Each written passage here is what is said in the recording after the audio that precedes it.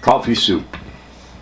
My granddad made me coffee soup when I was just a lad. His snack digested dentureless that never tasted bad.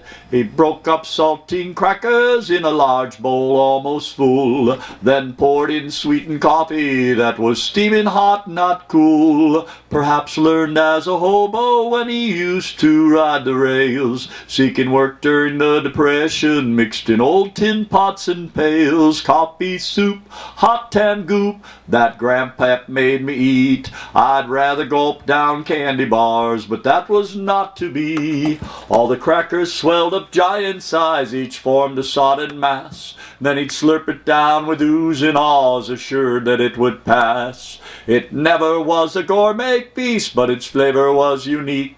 Some ancient mix he'd handed down that he ate three times a week. Coffee soup, hot tan goop that my grandpap made me eat. I'd rather gulp down candy bars, but that was not to be.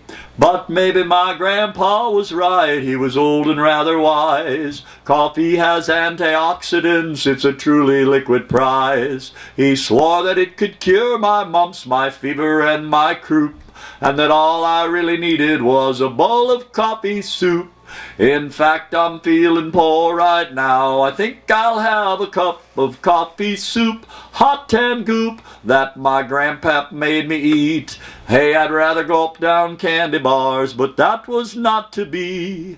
I ate it till I was 18, then suddenly lost my taste for coffee soup, that chewy goop, a caffeine-infused paste.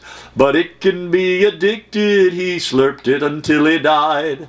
Then Grandma washed his coffee bowl and dried it as she cried. It's something everyone should try, it tastes quite good, you see. So hey, make a bowl, but tell no one the recipe's from me. Coffee soup, hot tan goop, coffee soup.